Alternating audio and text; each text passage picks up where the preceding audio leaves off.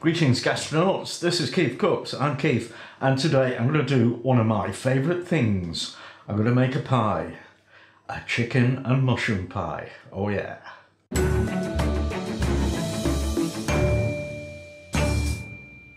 I think chicken and mushroom is probably one of the UK's favourite pie flavours or savoury pie fillings. And it's rich and tasty and quite easy to make. So we all love a good pie, don't we? If you enjoy this video, give it a like, share, subscribe, etc. And let's make a chicken and mushroom pie. Okay, I'm going to start off by making the pastry. Don't be scared, it's really simple. I'm making hot water pastry, which is perfect for this kind of pie, and it's what's used for pork pies and such like. And it might have a reputation for being difficult, which is completely undeserved. I think it's actually the easiest pastry in the world to make. But if you don't fancy doing that, you can buy ready-made pastry, and I recommend short crust pastry rather than puff or flaky, which I really don't like very much. I've got 300 grams of plain all-purpose flour, about half teaspoon of salt stirred into that.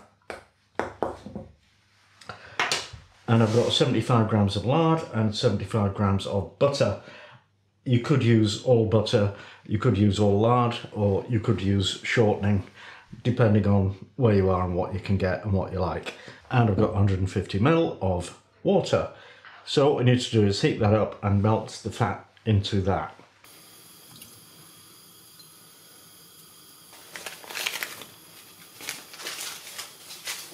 I forgot to mention I've chopped the fat into small bits because they'll melt more quickly. So the fat's all melted into the hot water and I'll just pour half it in with the flour. Stir that in. Then add the rest of it. And stir that in. And when that's all mixed together, tip it out onto some plastic film and stick that in the fridge to cool down for half an hour. So for the filling, you want chicken and mushroom. I've got 300 grams of chicken breast.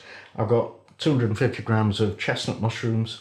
I've got a medium onion, a small handful of tarragon, 250 ml of milk, um, a couple of tablespoons of double cream, some salt, some white pepper, 250 ml of chicken stock, and uh, we also need some flour and a bit of butter to make a roux with.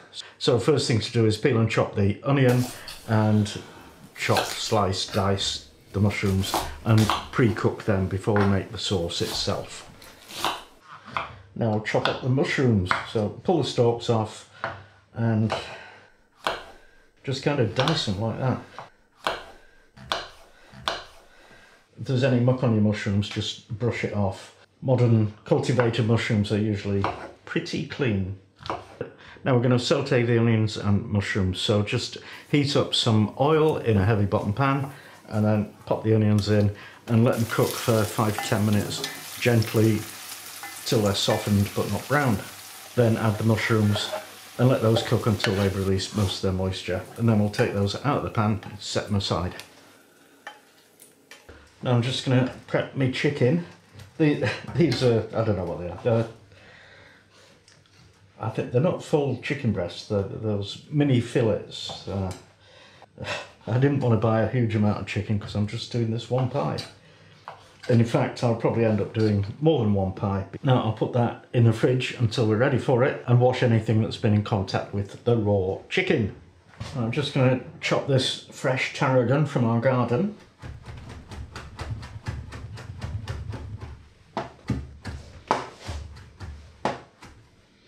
Now we'll start making the sauce.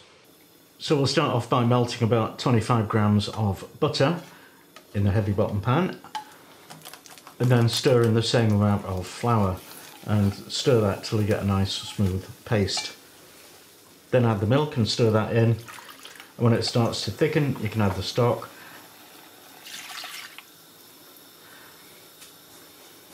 and the mushrooms and onions and the chicken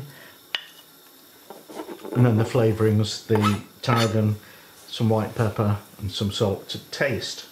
Let that cook for about 10 minutes and then if you're happy with the taste, take it off the heat and let it cool down a bit.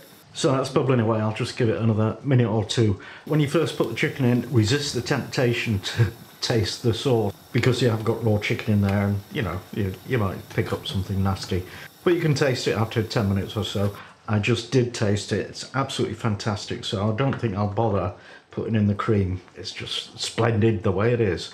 So take that off the heat, let it cool down, and meanwhile, make pie casings. Now we're going to roll out the pastry, so you want some flour on your worktop. So I've just got um, about a third of the dough, and this will be the lid for our traditional enamelled pie dish. just cut around the edge.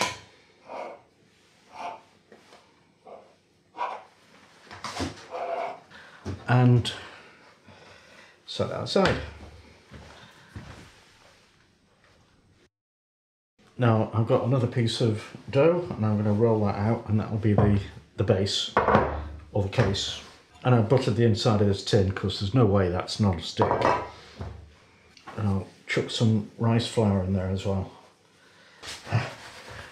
And on the dough,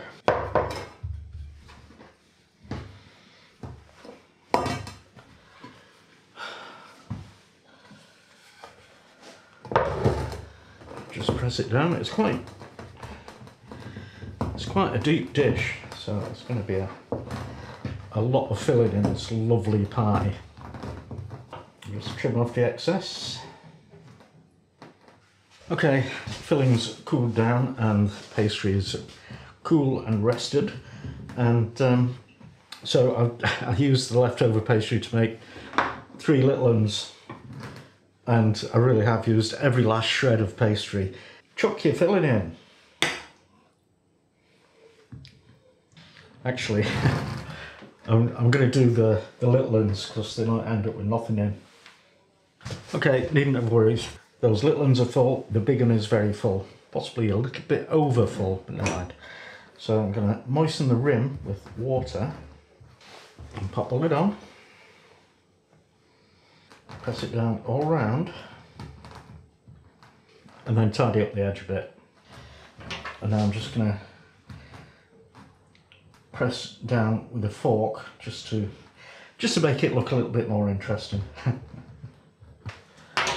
and I'll just lift it up a bit from the rim so that uh, it doesn't stick now we need to glaze it so for the egg wash you want one egg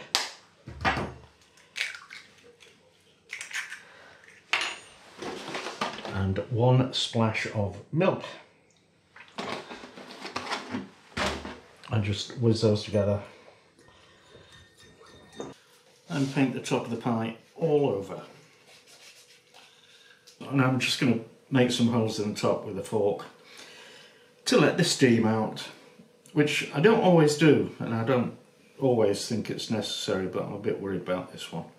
Now you want your oven heated to 210 degrees Celsius for a fan oven, convection oven or air fryer oven. That's 230 for a conventional one and that is gas 6 and then we'll pop them in. I think I'll give the, the smaller ones 25 minutes and the bigger one will probably take longer, maybe 35 minutes, but we'll see. Okay, time's up. Let's see how we're doing. I think we're doing all right. These look, these look good.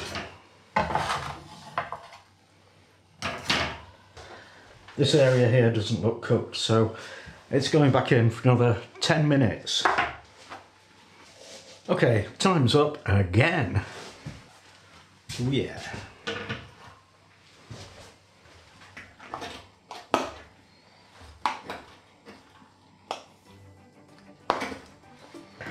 Okay, not the neatest bit of serving ever, but um, looks fabulous and smells amazing.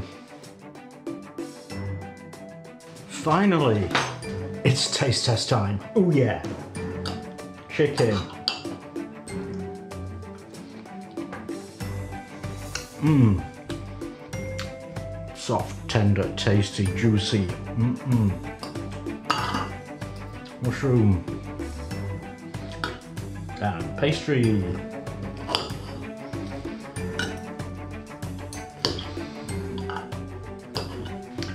That is delicious. Get it made so, thanks for watching. See you next time.